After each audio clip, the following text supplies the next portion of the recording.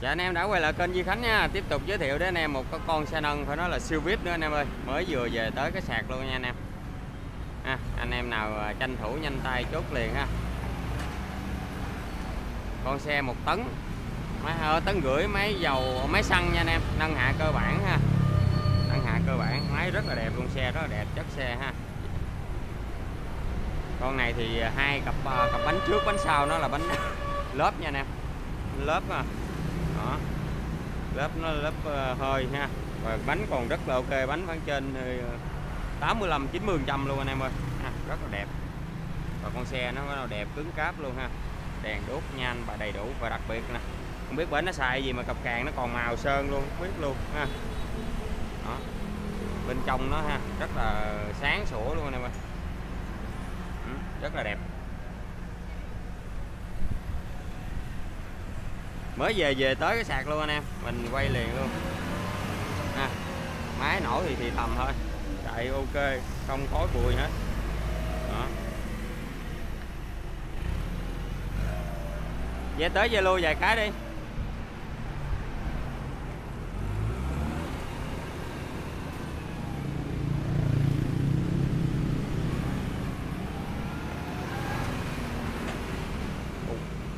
Thắng quá ok luôn anh em ơi thắng lết bánh luôn anh em ơi. Nè, giờ nó thắng nè. Thắng trái một đường lừa đường luôn. Vừa thôi. Ha, giờ vô chi tiết chắc xe anh em ơi. Xe giờ nè. Em thấy ha, da này còn luôn. Dở lên đi. Đây luôn ha. Đồng hồ đây ha. Con này mới chạy có 6.192 giờ anh em ơi. 6.000 giờ hơn 6.000 giờ xíu, ha. Máy chạy đây, máy đẹp can can anh em ơi, ha. Con này về chưa rửa chứ gì luôn. Nguyên y luôn, ha. Chạy thì thầm, ha. Vô